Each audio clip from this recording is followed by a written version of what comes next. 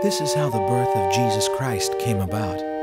His mother Mary was pledged to be married to Joseph, but before they came together, she was found to be with child through the Holy Spirit. Because Joseph, her husband, was a righteous man and did not want to expose her to public disgrace, he had in mind to divorce her quietly.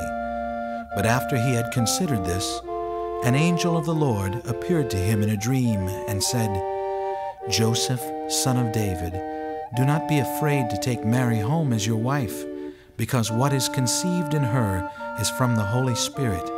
She will give birth to a son, and you are to give him the name Jesus, because he will save his people from their sins.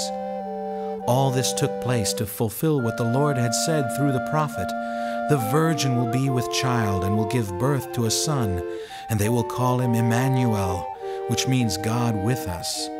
When Joseph woke up, he did what the angel of the Lord commanded him, and took Mary home as his wife. But he had no union with her until she gave birth to a son, and he gave him the name Jesus.